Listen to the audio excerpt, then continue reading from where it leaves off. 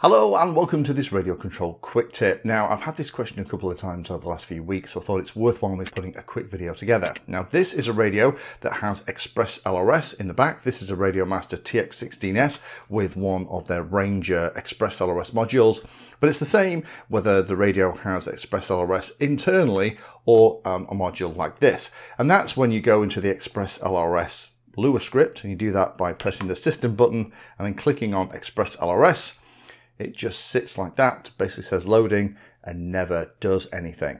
Now, what's happening here is the Lua script is trying to talk to the Express LRS technology in the radio to get all the information, but it's not getting in a reply. So if I just exit out of that, let's exit all the way out. What we have to do is in the model setup, model by model, tell the radio where that CRSF stuff is. If I press the model button, this is the first page. If I go right the way down here, we can see that it has internal RF and external RF.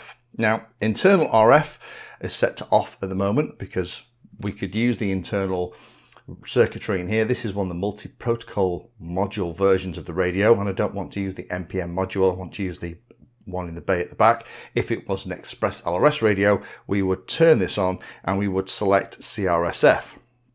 However, what we're going to do is go into external RF, which is going to talk to the bay at the back, which is where I have my Express LRS module, and we're going to select CRSF. And then it will come up with a load of defaults. I would just keep the defaults for now. That's probably going to be absolutely fine. With that set, we can now come out. The radio now knows, if we go back, you can see here that external RF has gone yellow, it's, it's, configured. So what we can do is we can come out of that, go back in the system menu, and this time when we run Express LRS Lua script, we will get all the information.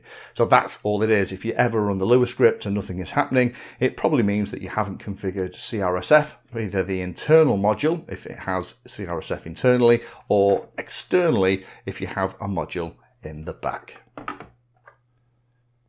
Thank you for watching my video. Check out the playlist and adding Painless 360 to your search terms will help you find my content. If you haven't done so already, please hit the like and subscribe button. It helps a lot.